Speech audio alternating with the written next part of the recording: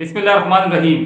अस्सलाम वालेकुम मैं हूँ वसीम खान और आप देख रहे हैं डब्ल्यू के न्यूज़ चलते हैं आज की अहम खबरों की जानी परवेज़ खटक का इमरान खान को चैलेंज तफसीत के मुताबिक।